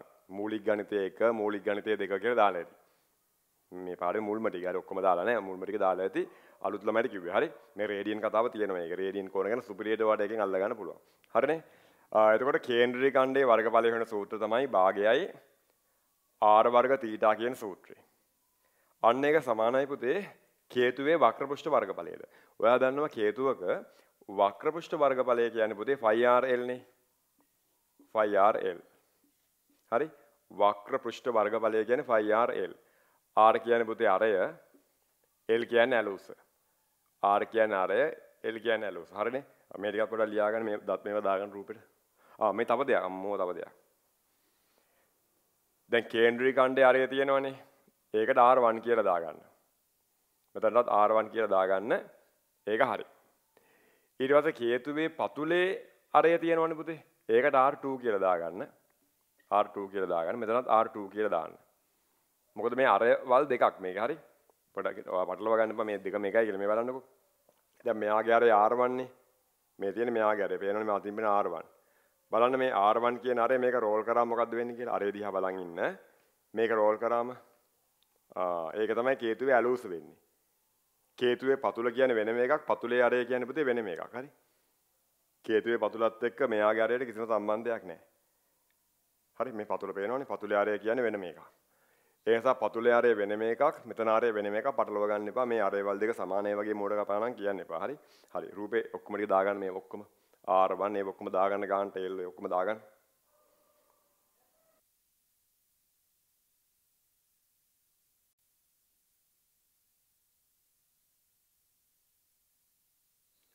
හරි. ඊට පස්සේ පුතේ තව තියරි එකක් තියෙනවා. හරි? තව තියරි එකක් තියෙනවා. මේ වගේම තව එකක් තියෙනවා. ඒකත් මම කියලා දෙන්නම්. බලා ගන්නකො. තව තියරි එකක් තියෙනවා. ඒකත් මම කියලා දෙන්නම්. බලා ගන්න.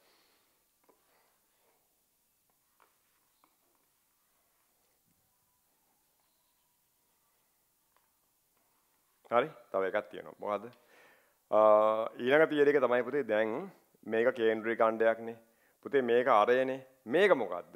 ඡාප දිග. මොකද්ද ඒකට කියන්නේ පුතේ? මෙතන ලියන්න. ඡාප දිග කියලා කියන්නේ. හරි. ඡාප දිග. ඡාප යන්නේ පුතේ. මේක තමයි ඡාප දිග. මේ මොකද්ද? පතුලේ පරිධිය කේතුවේ පතුලේ පරිධිය ඔයා දන්නවද? කේන්ද්‍රික ඛණ්ඩයේ මෙන්න මේ ඡාප කෑල්ලේ දිග තමයි මෙයාගේ පතුලේ පරිධිය වෙන්නේ. ඒ නිසා කේන්ද්‍රික ඛණ්ඩයේ කෙටියෙන් ලියනවා කේක. කේක කියන්නේ කේන්ද්‍රික ඛණ්ඩයේ. හරි? කේන්ද්‍රික ඛණ්ඩයේ ඡාප කෑල්ලේ දිග. හරි? මේ කේන්ද්‍රික ඛණ්ඩයේ ඡාප කෑල්ලේ දිග තමයි කේතුවේ පතුලේ පරිදිය වෙන්නේ. හේතුවේ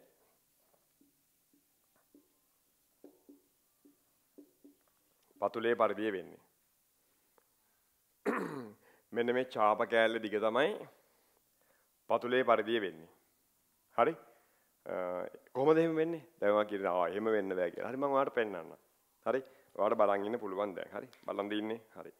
බලන් ඉන්න රයිට් සුපරියර් බලන් ඉන්න පුතේ ඔන්න දැන් මේ තියෙන පුතේ දැන් මේ මේ මේ කරන මේ දැන් කරන මේ තියරි කොටස් වලින් පුතේ එක්සෑම් එකේ MCQ වලට ඇවිල්ලා තියෙනවා. MCQ ඇවිල්ලා තියෙනවා. හරිද මේ මම මම සාමාන්‍යයෙන් මගේ ටියුට් වල වැඩ කරනකොට මගුල් දාන්නේ නැහැ පුතේ. අවශ්‍යම ටික ගන්නට දාලා තියෙන්නේ ඔය ටික හරියට කරගත්තොත් ඒ එකක් ඉතින් ෂුවර් කරම ගන්න පුළුවන්. B එකක් නැති ගේම් එකක් නේ ඔය ටික හරියට කරොත් ඉතින් ගන්න පුළුවන්. මගේ පේපර්ස් ටික ලිව්වොත් B B එකක් නම් ෂුවර් කරම ගන්න පුළුවන්. කිසිම අවුලක් නැහැ. ඒ එකක් හොඳටම ගන්න පුළුවන්. කිසිම අවුලක් නැහැ. හරිනේ දැන් හැම එකක්ම හරියට අහන් ඉඳලා ගන්නට කරන්න. මම කලින් කිව්වනේ ආයේ එක දිගට බණ කියන්න බෑ. රයිට් දැන් මේ තියෙන පුතේ මොකද්ද? කේන්ද්‍රික ඛණ්ඩය. හරි. මේ තියෙන මොකද්ද? කේන්ද්‍රික ඛණ්ඩය. ඔයාලට පේනවද කේන්ද්‍රික ඛණ්ඩයේ ඡාප කෑල්ල දිග? හරි. මේ ඡාප කෑල්ල දිග මේ පේනවනේ. ඡාප කෑල්ල දිගම කොළ පෑනෙන් පාට කරලා තියෙන්නේ. හරි. වර්ණාන්තාව එහෙම නැහැනේ පේනවනේ. කොළ පෑනෙන් පාට කරලා තියෙන්නේ. ඒ කොළ පෑනෙන් පාට කරලා තියෙන පුතේ ඡාප කෑලි දිග. කාගේද? K ක ඡාප දිග. කේන්ද්‍රික ඛණ්ඩයේ ඡාප දිග. දැන් මේක රෝල් කරනකොට බලන් ඉන්න මේ කොළ පාට ඡාප දිගට මොකද වෙන්නේ කියලා. ඔන්න. ම්ම් මොකක්ද උනේ? මොකක්ද උනේ? කේතුවේ පතුලේ වට ප්‍රමාණය වුණා. දැක්කනේ හැමෝම? දැක්කනේ හැමෝම? කොළ පාට රවුමට වෙච්ච දේ. කොළපාට රවුම තමයි ගානට කේතුවේ පතුල බවට පත් උනේ. පතුලේ පරිදිය බවට පත් උනේ මේ කොළපාට රවුම. මොනවද දිගාලා පෙන්නන ඔන්න. මේ තියෙන පුතේ ඡාප දිග. ඡාප දිග මේක කේතුවක් කරාම මේ ඡාප කෑල්ල තමයි පරිදිය වෙන්නේ. අන්න දැක්කනේ. පරිදිය වෙන්නේ ඒක. ඒ නිසා ඡාප දිග පරිදියට සමානයි කියන එක හරිනේ? හරි. එහෙනම් අපිට දෙවෙනි තියරේ විදියට. හරි. ආයමත් තරුවක් දාලා තරු පේලියක් දාලා ඒකට යටින් ලියාගන්න මේ ටික. රූපය ආයෙත් ඇඳලා ඡාප දිග පතුලේ පරිදියට සමානයි. ලියගන්නකො මේක රක් ගාලා. තකා ලියගන්න.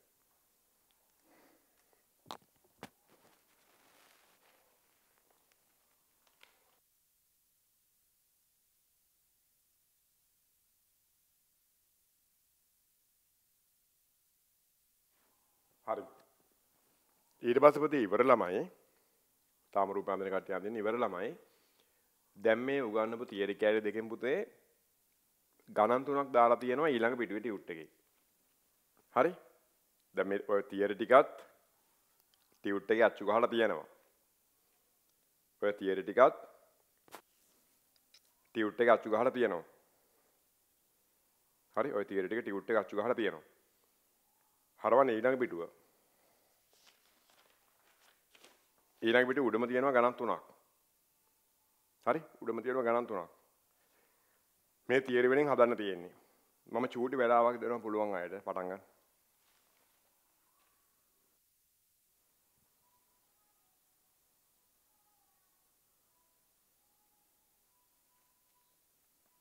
සම අද ඇඩ්ඩුනේ මට මුලින් ඉඳන් ක්ලාස් රෙකෝඩින් ගන්න කොහොමද නම්බර් එකක් කියන්නකෝ. පුතේ my guiders WhatsApp group එකේ ඉන්නවා නම් ඒකේ විස්තර ගන්න කියලා අංක දාලා තියෙනවනේ. ඒ අංක වලට කතා කරන්න ඕනේ.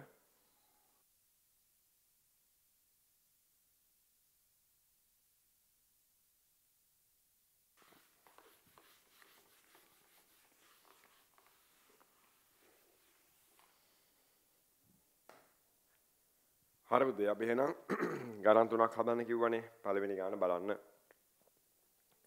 පතුලේ අරය සෙන්ටිමීටර් 14ක් වන කේතුවක වක්‍ර පෘෂ්ඨය මගින් ලබා ගන්නා කේන්ද්‍රීය ඛණ්ඩයේ ඡාප දිග කීයද කියලා අහනවා. පතුලේ අරය 14ක් වන කේතුවක් පුතේ මේ බලන්නකෝ. මේක තමයි පතුල. හරි? මේක තමයි පතුල. පොඩි එලාදිමුනේ. මේක තමයි පතුල. පතුලේ අරය 14ක් වන කේතුවක. කේතුවක මොන පෘෂ්ඨයද? වක්‍ර පෘෂ්ඨය දිගෑරියම ආයත් කේන්ද්‍රීය ඛණ්ඩයක් හම්බ වෙනවනේ. අන්නේ කේන්ද්‍රීය ඛණ්ඩයේ ඡාප දිග කීයද කියලා අහනවා.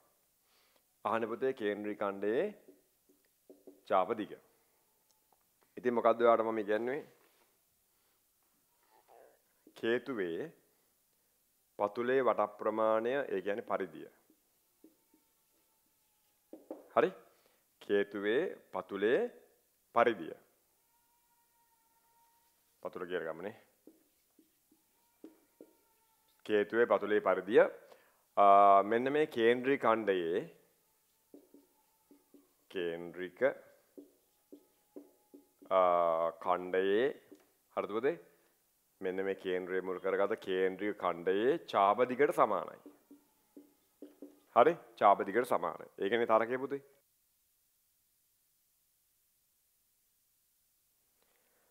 එතකොට අපෙන් අහන්නේ පුතේ මෙන්න මේ ඡාප කෑල්ල දිගනේ. එතකොට මේ ඡාප කෑල්ල දිග පුතේ පරිධියට සමාන නම් අපිට පරිදිය හොයාගන්න පුළුවන් නම් ඒකමනේ චාප කෑල්ල දිග වෙන්නේ. අපිට පරිදිය හොයාගන්න පුළුවන්. ඇයි? පතුලේ අරය දීලා තියෙනවා නම් පුතේ පරිදිය හොයාගන්න පුළුවන් නේ. මොකද්ද පරිදිය හොයන සූත්‍රය? 25R. හරි? මොකද්ද පරිදිය හොයන සූත්‍රය? 25R.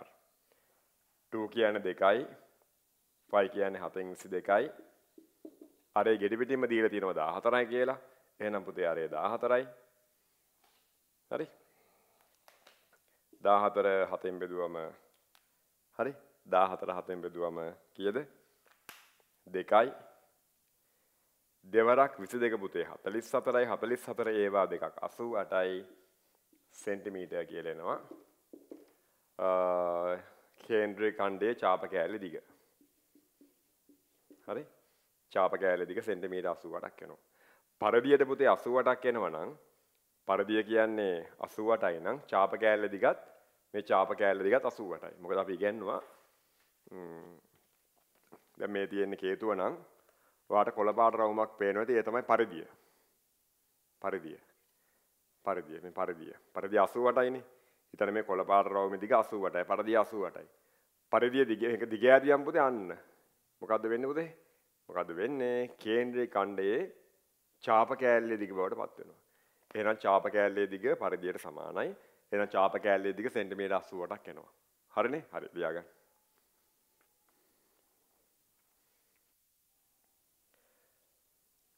අපේ හැම සතියකම පුතේ ලයිව් Zoom ක්ලාස් එක මේ විදිහට යනවා රැයට 8:00 10:00මාර ඒකම ඒකේ රෙකෝඩඩ් වීඩියෝ එකකුත් අපි අපේ My Guiders එකට දානවා. ඒතර My Guiders එකට දැම්මම රෙකෝඩඩ් වීඩියෝ කාට බලන්න පුළුවන්. myguiders.lk වෙබ්සයිට් එකෙන් තමයි පුතේ ඔක්කොම බලන්න පුළුවන්. හරිනේ? ඒක ඔයගොල්ලෝ දන්නවනේ WhatsApp group එකේ ඉන්නවනේ නේ. ඔක්කොම ඉස්සර දාලා ඇත්තේ. හරි.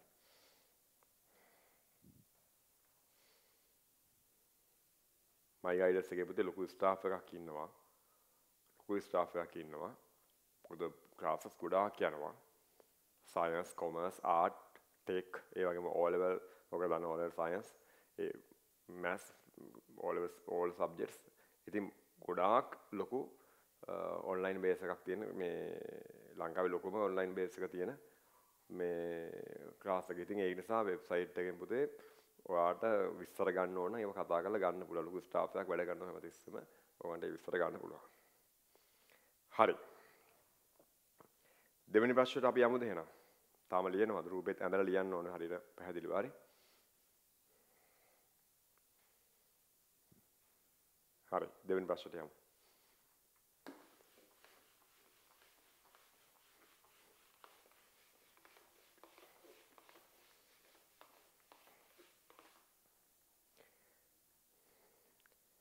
පතුලේ අරය සෙන්ටිමීටර් 14ක් වන ඇලවුස සෙන්ටිමීටර් 20ක් වන කේතුවක වක්‍ර පෘෂ්ඨය මගින් ලබා ගන්නා කේන්ද්‍රීය ඛණ්ඩයේ වර්ගඵලය කීයද? හරි. දැන් මේක කියලා හිතන්නකෝ කේන්ද්‍රීය ඛණ්ඩය. ඔය කේන්ද්‍රීය ඛණ්ඩේ රෝල් කරලා තමයි පුතේ කේතුව හදාගන්නේ. ඔය විදිහට. පතුලේ අරය 14ක් වන කේතුවේ පතුලේ අරය පුතේ 14යිලු ඇලවුස 20යිලු. හරි?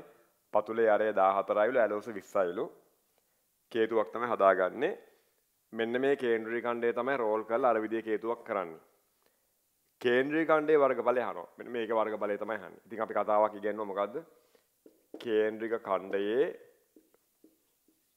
වර්ගඵලය සමානයි කියනමුද මෙන්න මේ වර්ගඵලය තමයි රෝල් වෙලා කේතුවේ වක්‍ර පෘෂ්ඨය වෙන්නේ එහෙනම් කේන්ද්‍රීය ඛණ්ඩයේ වර්ගඵලය තමයි පුතේ කේතුවේ වක්‍ර පෘෂ්ඨය වෙන්නේ කේතුවේ වක්‍ර පෘෂ්ඨයට සමානයි. හරි? කේතුවේ වක්‍ර පෘෂ්ඨ වර්ග බලය හොයන්න අපේ ළමයි දන්නවා phi r l සූත්‍රයෙන්. හරි. හදන්න එහෙනම් ටක් ගාලා. දෙවෙනි ගාන.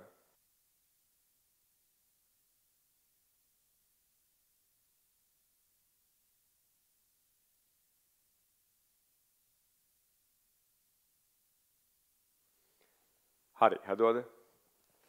ෆයි කියන්න පුතේ 7න් 22යි. හරි? අරය 14යි. ඇලවුස 20යි. හරිද පුතේ? අරය 14යි ඇලවුස 20යි. සුළු කිරීමත් හරිම ලේසි. 14 7න් බෙදුවම 2යි.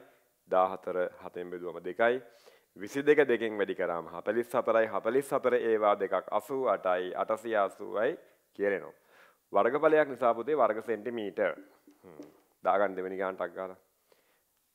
තුන්වෙනි ගාන නම් පොඩ්ඩක් අමාරුයි වගේ නේ මේ ගණන් දෙකට සාපේක්ෂව අමාරු කියලා ගානක් නෑ පුතේ. මේ ගණන් දෙකට සාපේක්ෂව තුන්වෙනි ගානේ පොඩි දෙයක් තියෙනවා. බරු කියන්න ඕනේ නෑනේ. බලමු තුන්වෙනි ගානත් අමාරු නෑ. හරිම ලේසියි.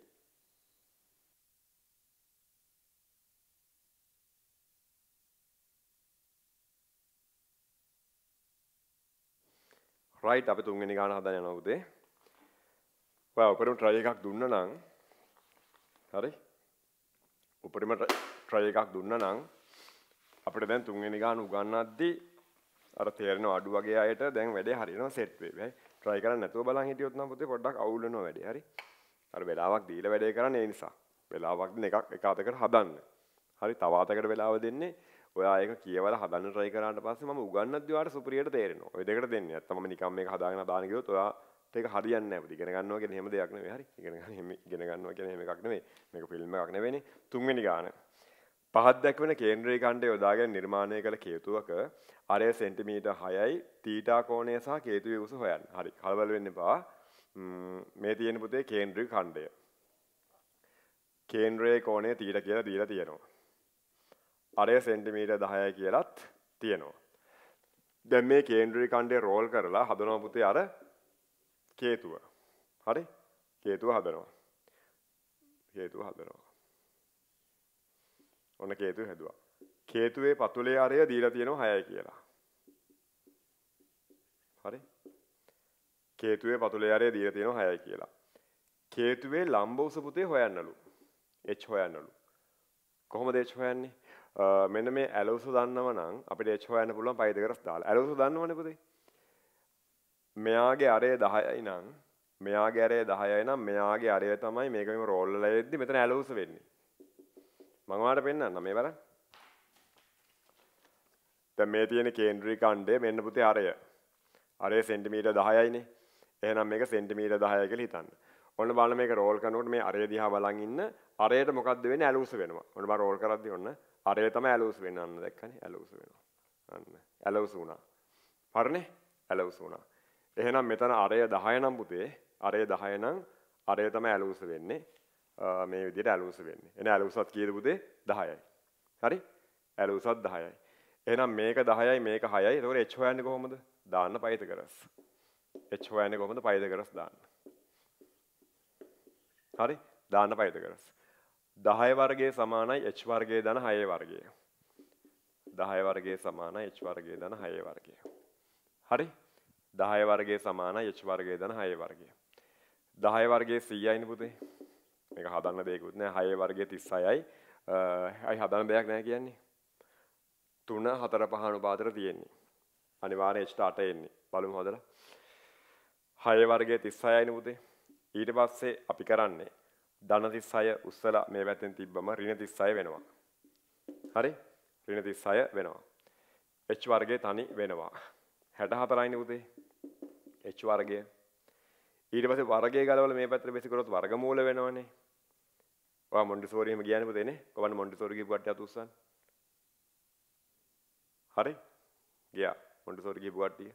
අන්න ඒගොල්ලෝ කියන්නේ මොන්ටිසෝරිත් උගන්වනවා වර්ගමූල 64 කීයද පුතේ? 8යි සෙන්ටිමීටර් කියලා. එහෙනම් h කියන්නේ 8යි. හරි? වර්ගමූල 64 8යිනේ. මේ පොඩි දේවල් මං කිව්වේ මේ මේ වරද්දන්න එපා. හරි? පොඩි දේවල්. එහෙනම් අපිට h කියන්නේ 8යි. දැන් ඒක හරිනේ? හරි. ඊළඟට ඕක ලියා ගන්නකෝ. ලියා ගන්නකෝ.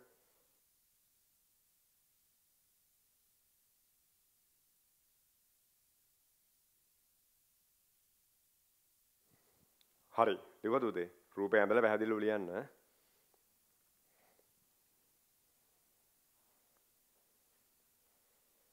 අලුත් ළමයි තියෙන නිසා අපි හෙන වේගෙන් උගන්වන්නේ නැහැ. හරි පේනවනේ හිමීට උගන්වගෙන යන්නේ. හැබැයි ඉතින් හෙන හිමීට මේ මේ මේ පැය දෙකම අරන් ගානක් හදලා මේ එහෙම කරන්න බෑ. ඒ ලෙවල් ක්ලාස් එකක් නේ පුතේ නේ. පොඩ්ඩක් ගැම්මට වැඩ කරන්න ඕනේ. ඒ ලෙවල් ළමයි කියන එක දැන් ඔයා තියාගන්න. තේරෙන වඩු වගේ නම් තව මහන්සි වෙලා ඒක තේරුම් ගන්න පන්ති ඉවර වෙලත්. හරි මේවා තේරුම් ගන්න බැරි වෙන්නේ නැහැ. මම ලස්සනට කියලා දීලා තියෙන්නේ. හරිද?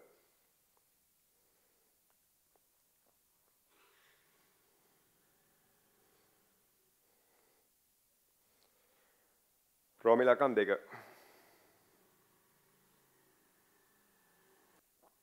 රෝම ඉලක්කම් දෙක.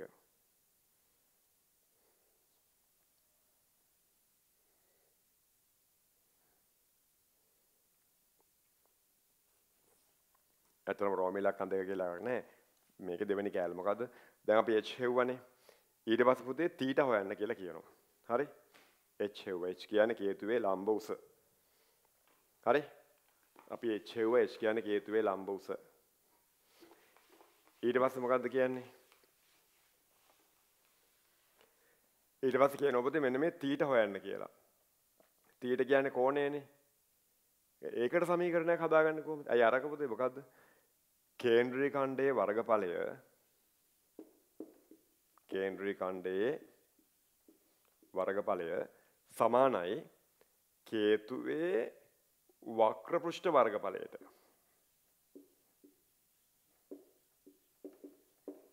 හරි? කේතුවේ වක්‍ර පෘෂ්ඨ වර්ගඵලයට.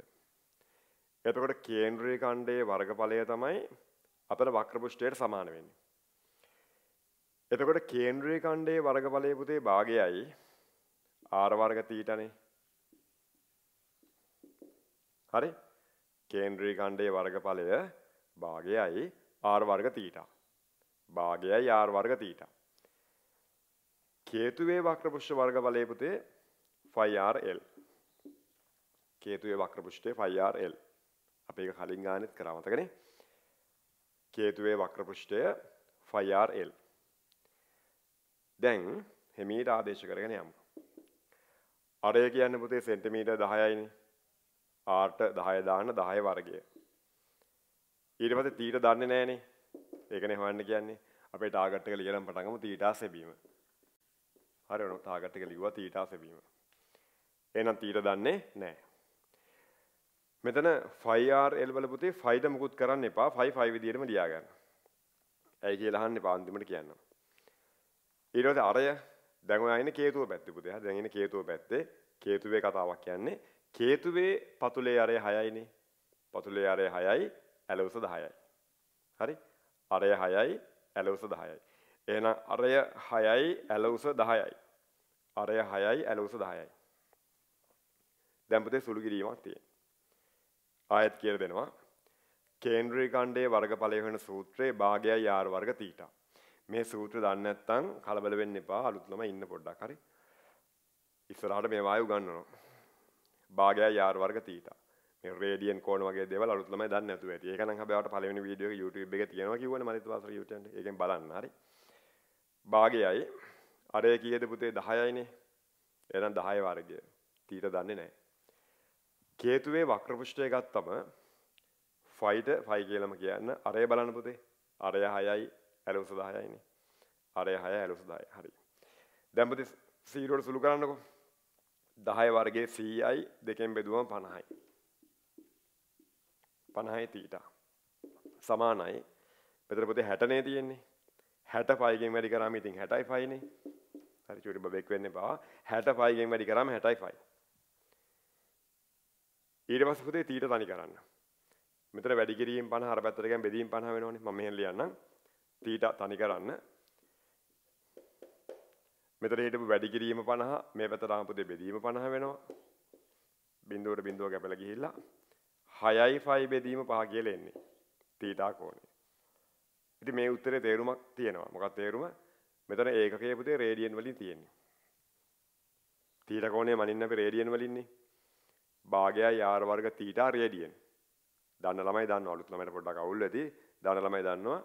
තීටා කෝණය රේඩියන් වලින් තියෙනවා නම් පුතේ අපි සම්මතයක් හදාගෙන තියෙන එක අනිවාර්ය අනිවාර්ය රූල් එකක් නෙවෙයි.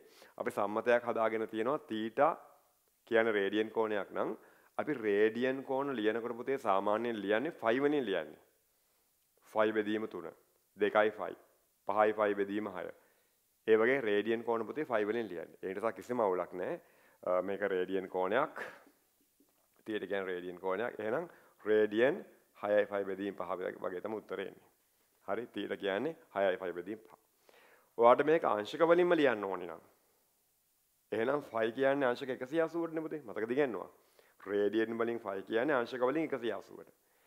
ඒ නිසා මෙන්න මේ රේඩියන් 5ට අංශක 180 ආදේශ කරලා මෙතනට 180 ආදේශ කරලා සුළු කළ උත්තරයක් ගන්න අංශක වලින් ඒවි. එහෙම ලියන්නත් පුළුවන්. ඒත් එහෙම ඕනේ නැහැ. තීට කෝණේ රේඩියන් වලින් තියන්න. මොකද රේඩියන් තමයි කෝණ වලින් SI එකකේ. ඒක උත්තරේ මේවා ලියන්නේ SI එකක වලින්. හරි. ලියා ගන්න. ඒක මරුනේ. හරි. හැමදාම මරු ගානක් හදනවා. ගිය සතියේත් අපි සුපිරි ගානක් අන්තිමට හදුවා මතකනේ.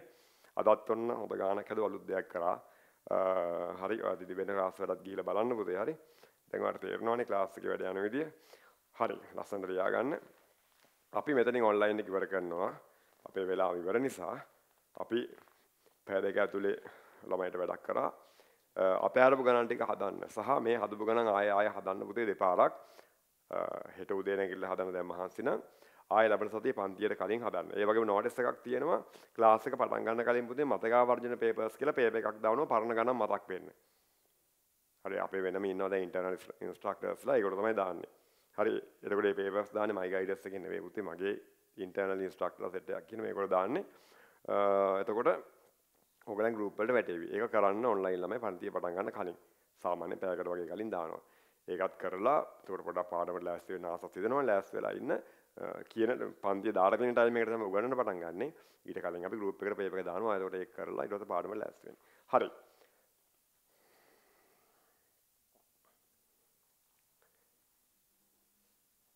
හරිනේ රයිට් එහෙනම් පුතේ ක්ලාස් එක ඉවරයි හැමෝටම good night එහෙනම් ක්ලාස් එක අපි ඉවර කරලා තියෙනවා තාම ලියන ඉන්න ඕනේ ඒගොල්ලෝ ලියන්න අපි වීඩියෝ එකකින් මේ